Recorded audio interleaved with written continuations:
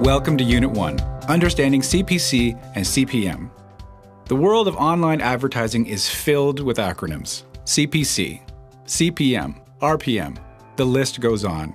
While these acronyms represent important metrics, it can be hard to know where to start when it comes to increasing these values and ultimately increasing your revenue.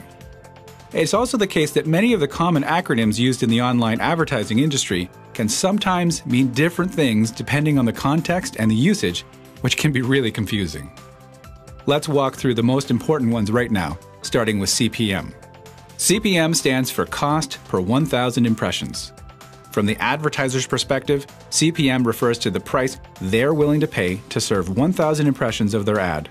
So in the AdSense auction, if an advertiser bids a CPM of $2, this means he or she is willing to pay $2 for every thousand times the ad appears to a user.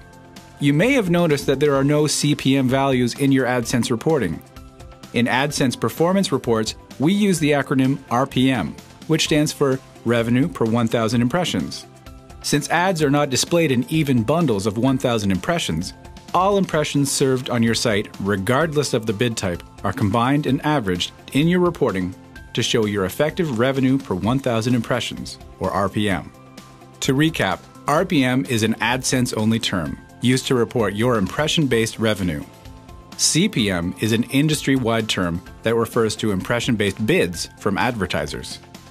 The next acronym to know is CPC. CPC stands for Cost per Click. The cost per click is the price an advertiser pays each time a user clicks on an ad. In your reporting, CPC metrics show the revenue you receive each time a user clicks on an ad on your site. There are also two new bid types that will become increasingly popular down the road. The first is CPE, or cost per engagement. With engagement ads, the advertiser pays only when a user interacts with the ad in a particular way, beyond just clicking on it. These ads are largely video and rich media ads. The other new bidding metric is Active View CPM. With Active View CPM bidding, advertisers bid on 1,000 viewable impressions and only pay for impressions that are measured as viewable. That is, when at least 50% of the ad is displayed on screen for at least one second. As these new bidding types become more common, we will continue to provide more information on them, including in your AdSense reporting.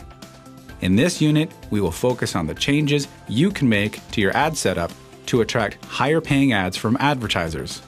We will cover the various settings for your ads and your AdSense account that can have a direct impact on your ad unit's CPM and CPC.